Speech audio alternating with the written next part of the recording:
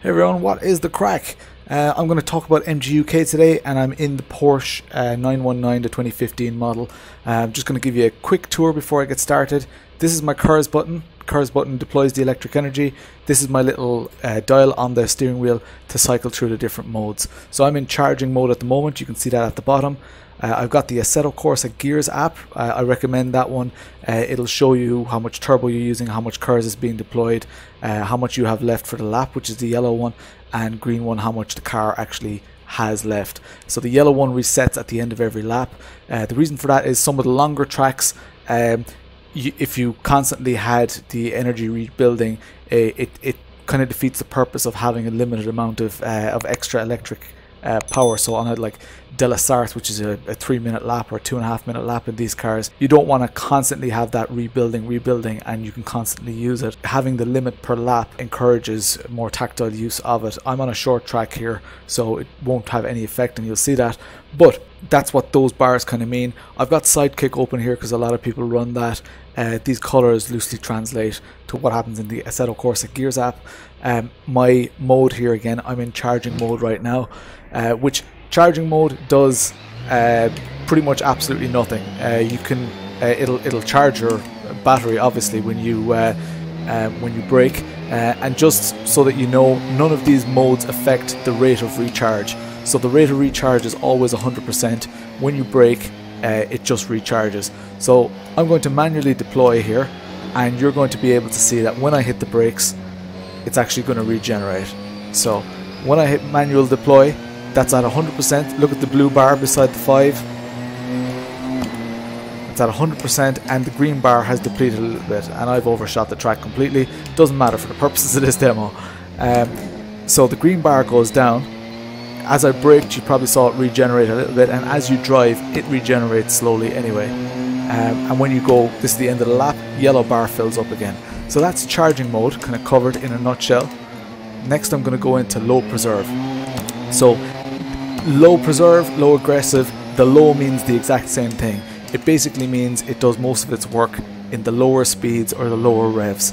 Uh, so as when you get up into fourth, fifth gear, pretty much it starts interfering less. The theory is that at that stage of your lap, um, uh, or at that stage of your of your revs, the amount of energy that it delivers makes a very small difference to your overall top speed and stuff like that. Um, so it's not worth spending the energy there. It's it's mainly for getting out of corners and stuff. So preserve, seeing as the the KERS system deploys most of its uh, uh, power, uh, most of its energy through the front tires.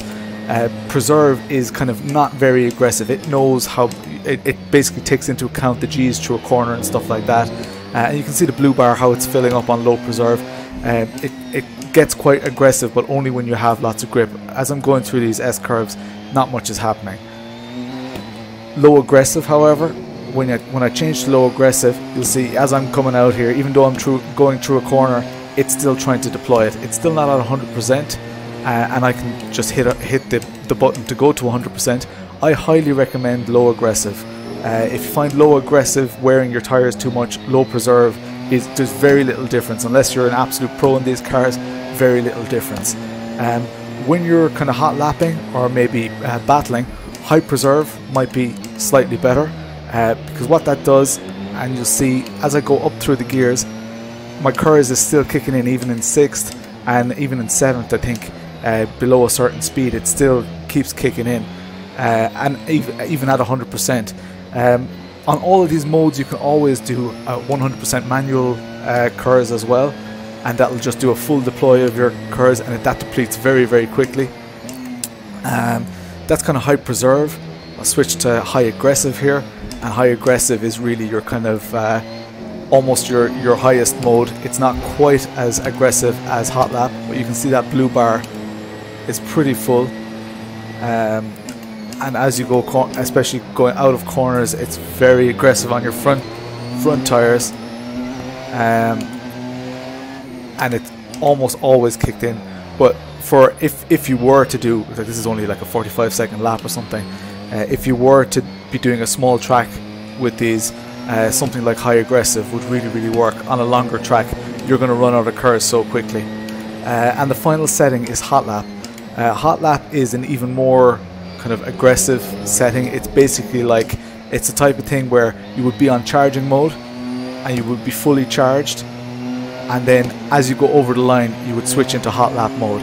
That basically tries to use the battery um, or as much as the battery as possible. So it doesn't it doesn't spare it in any way. So it's super aggressive. You can see that green bar depleting quite quickly. Now this is the uh, the 2016 Porsche. So this one actually has uh, a huge battery compared to like the 2015 so it has far more KERS available. Uh, so on a small track like this um, you don't really notice that it's using uh, lots and lots but it is. Compared to the other modes it uses quite a lot. I suck at that corner. Um, and that's about it. That's kind of the MGUK system uh, explained in a nutshell. Uh, if you want to know the shortcuts, you can do uh, Control 2 on your keyboard.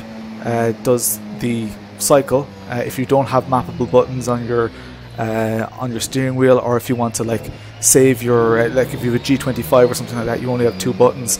you can just do Control and 2, and that will allow you to cycle through the different modes.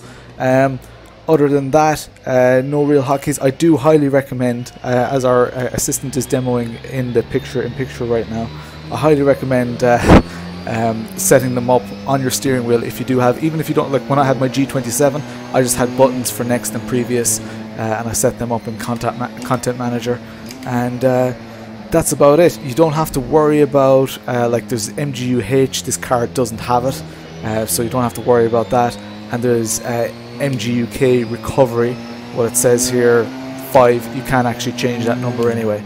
Uh, if at any stage you do want to change any of these settings, you want to save them with your setup, uh, you can go back to pits. When you go into your setup in electronics, it shows you your delivery. So if you save it as high aggressive, you're going to start off at high, as high aggressive. Some people might want to start off on aggressive for the start of the race, try and make up positions, and then change it as they go along. I highly recommend if you're not used to this system, low aggressive is more than good enough, and uh, top it up with that uh, red button every time somebody tries to, or your your KERS button that you've mapped. Every time someone tries to pass you out, just give it a little blast of that. Uh, try and get consistent in these cars before you try and be a whiz with this uh, MGUK stuff, uh, and and try and have it interfere with you as little as possible. And uh, that's about it. I hope that this uh, helped you guys. Um, this video is done by request because a lot of people um, have asked me uh, to, to, to do this in my league. We've got a league coming up with these. So hopefully this will help some other people because there's not a lot of info uh, out there on Assetto Corsa and how it uses MGUK. Lots of theory out there on how it should work and first gear 20%, second gear 40% and it's just all very very confusing. Hopefully this clears that all up. Uh, if you like what you saw, if this helps you in any way, please hit the little like button. Uh, and uh, if you want to see more content like this and all the other stuff that I do, uh, please hit subscribe and uh, if you uh, if you want to be notified every time a video like this comes out hit the little bell that's about it for me chat you later